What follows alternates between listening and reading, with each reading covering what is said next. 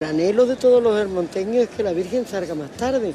También es verdad que el recorrido de la Virgen ahora es mucho más largo. conozco bien, es un hombre de la Virgen.